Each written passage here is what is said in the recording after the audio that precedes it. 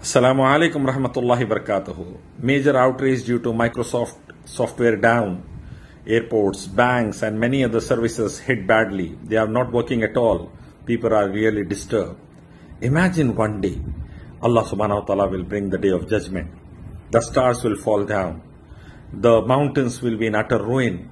The skin of the skies will be taken off. The oceans will burn in fire and things will be completely out of order, major earthquakes, and we will be running hel- helter and skelter. Imagine that day. Only Allah can save. So worship only Creator God, cherisher Allah, mentioned in Quran, Hadith, Veda, Gita, Upanishad, Bible, and obey final messenger Muhammad Sallallahu. Worshipping genitals, human beings, sun, moon, stars, idols leads to hellfire. Have Islam, get success, get peace, prosperity in both the worlds.